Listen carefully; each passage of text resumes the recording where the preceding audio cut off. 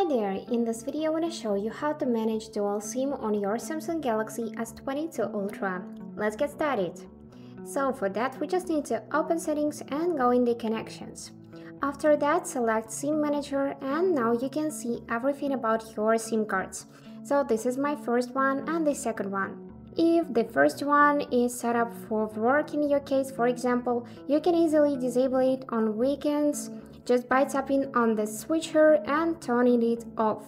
Also, we can rename those SIM cards if you just select this tab and here choose edit name and icon.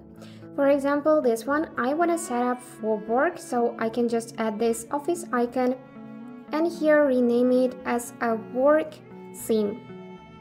And then confirm by pressing this down button and here is how it will look.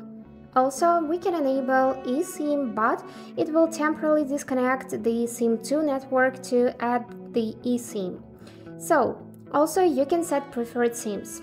You just go in the calls, here you can select work SIM or the second one, or you can select the option to always ask. And do just the same for the messages and mobile data. And here you can also enable to data switching and backup calling, just like that so it will automatically switch to another SIM for mobile data if the preferred SIM can connect. And after that we can see the more SIM settings. And here we can see the dual SIM on always. And you can see your phone number for your first SIM card and the second one. Here you can see its security, you can lock your SIM card. And also you can disable this lock but you will need to enter your SIM's password just like that.